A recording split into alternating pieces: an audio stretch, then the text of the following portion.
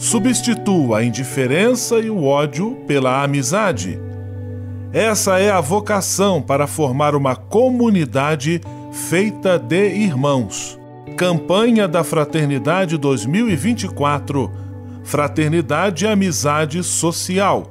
Vós sois todos irmãos e irmãs.